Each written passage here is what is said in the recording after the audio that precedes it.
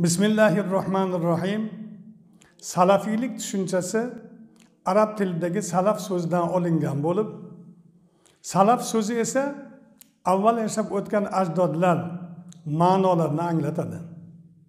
Hadislarga ko'ra payg'ambarimiz muhammad mustafa sollallohu alayhi vasallam zamonalarida va u kishidan keyingi davrda yashab o'tgan musulmonlar salafi solih ya'ni solih ajdodlar hisoblanadi.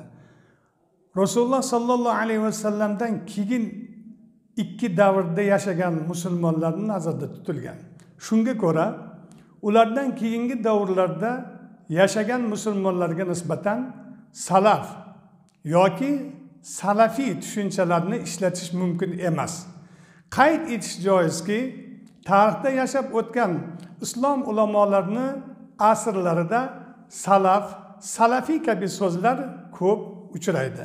Ammo ularda alohida ulardan alohida ajrab chiqqan salafiylik harakati emas. Ammo ta'kidlaymiz ularda alohida ajrab chiqqan salafiylik harakati emas balki islom tarixini dastlabki uch asrda ya'ni yettinchi sakkizinchi to'qqizinchi asrlarda yashagan musulmonlar nazarda tutilgan.